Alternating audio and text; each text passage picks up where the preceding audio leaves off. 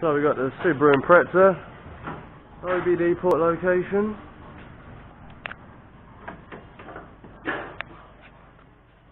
Is up underneath the dash. Finding right there. Like and subscribe for more repair videos like this. Peace.